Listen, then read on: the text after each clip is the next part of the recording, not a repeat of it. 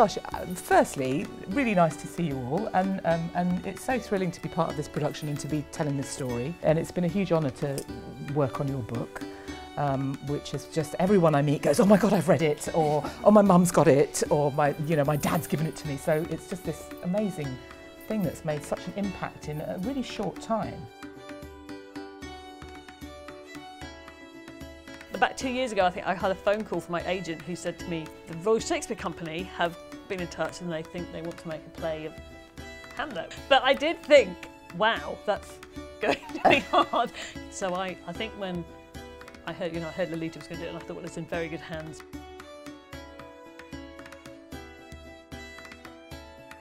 But it's really exciting, the plays and previews. And while we did this play in Stratford, which was the heart of Shakespeare country, now to come to London with Shakespeare and bring his family um, with us, it's, it's, yeah, it's very exciting.